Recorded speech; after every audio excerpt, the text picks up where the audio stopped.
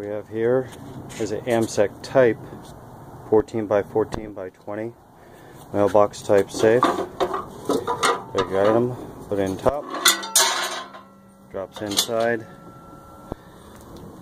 It is able to bolt down. It does have five points of security. It does have a bar back. Has a relocker.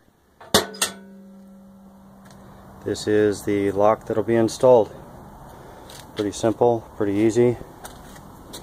Weighs about 100 pounds.